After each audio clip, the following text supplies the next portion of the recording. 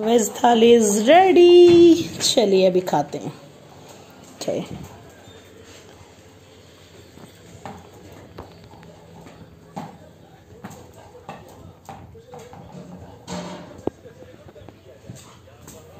और इधर लगाएँगे कुछ टीवी में अपना मूवी अभी यस दे दो रिमोट प्लीज़ मम्मा देखो काम करके खाना खिला दिया आप लोगों को और अभी खुद खाएगी तो थोड़ा सा एंजॉय करेगी ना।